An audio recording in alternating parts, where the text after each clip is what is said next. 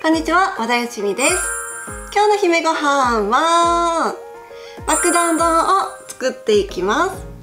それでは作っていきましょう。それでは解説していきます。で、まず最初にマグロは漬けにしていくんですけど、食べやすい大きさに切ってあげたマグロをめんつゆ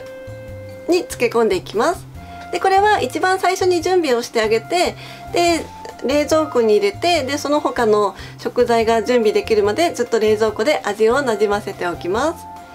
でオクラはねあのー、板ずりまな板の上でお塩を振ってゴロゴロ転がしてあげてからさっと茹でてあげてで茹で上がったら粗熱が取れてからだいたい 5mm 幅に切ってあげてください。であとこれはたくあんなんですけどあの、だいたい1センチ角のさいの目に切っておきます。で長芋は皮を剥いてすりおろしていくんですけど長芋って結構変色しやすかったりもするのであのお酢をね少しだけ入れてあげると変色防止になります。今回はすし酢を入れてるんですけど普通のお酢でも大丈夫です。であとこれは温泉卵を電子レンジでね簡単に作っていくんですけど電子レンジかけるのでそのまま加熱しちゃうと爆発しちゃうのであの箸とかでね黄身に数箇所穴を開けてあげてください。でこれ加熱時間はその入れる器だったりとかお水の量で多少変化するのでもし加熱が短かったら10秒ずつ足して様子を見てあげてください。あとは納豆はね、あのー、付属のタレを混ぜてあげるだけではいこれで他の準備が完了。あとはあの器にねご飯を盛り付けてあげてあとはその他の食材たちを美しく盛り付けてあげてください。あそうそうあのめんつゆこのね漬け込んでるつゆ全部入れちゃうとしょっぱくなっちゃうのでマグロはマグロだけ入れてあげてください。で最後に温泉卵を盛り付けて完成です。できました。では味見していきます。ではいただきます。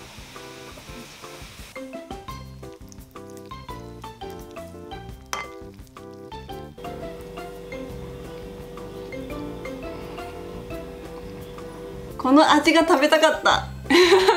それぞれにね下味をつけてるのでお醤油とか入れなくても美味しくいただけるんですけど、まあ、お好みでお醤油を入れていただければなと思うんですが納豆とオクラととろろのネバネバ感の中にマグロだったりとかあとたくあんのシャキシャキ感が加わってとっても美味しいと思います。夏にねスタミナアップできる一品なのでとってもおすすめです。ぜひ作ってみてください。最後まで動画をご覧いただきましてありがとうございます。チャンネル登録よろしくお願いします。そして姫ごはんの公式 LINE アットが始まりました。今だけご登録の方に DVD の限定レシピであるフラワーボックスちらし寿司弁当の作り方動画をプレゼントしております。詳しくはコメント欄にリンクを載せておきますのでぜひぜひご登録いただけると嬉しいです。それではまたお会いしましょう。さようなら。これはね本当に美味しいですよね。